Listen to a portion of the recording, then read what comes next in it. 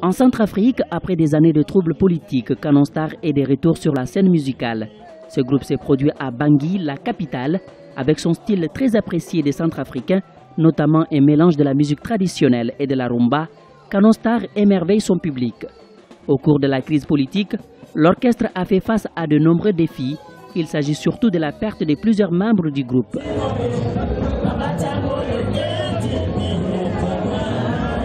On a perdu au moins 10 musiciens dans cet événement-là. Ils étaient assassinés comme ça, tués euh, lâchement, ouais, pour rien comme ça.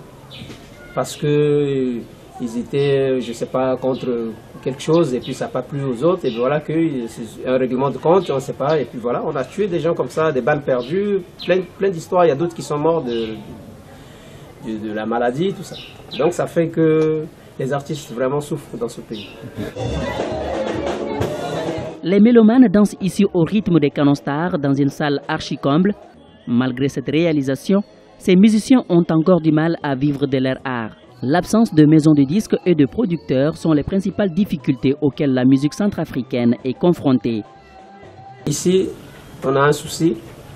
Les artistes vivent que des recettes de concert. Leurs droits d'auteur ne sont pas payés. Et quand il y a, une crise où il y a des, troubles, ça veut dire que c'est les, artistes qui subissent parce qu'eux, ils ne peuvent pas euh, exercer leur métier. Et ça fait que euh, ça fait trop de soucis euh, de salaire. Ils ne peuvent pas.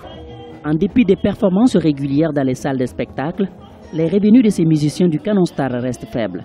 Malgré cette situation, le groupe a encore un énorme succès dans le pays où sa musique est souvent jouée à la radio. Le fondateur veut donner un nouvel élan au groupe en recherchant des collaborations avec d'autres musiciens africains.